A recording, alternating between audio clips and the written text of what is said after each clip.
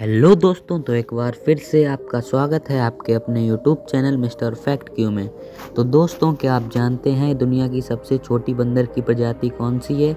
अगर नहीं तो चलिए हम बताते हैं आपको।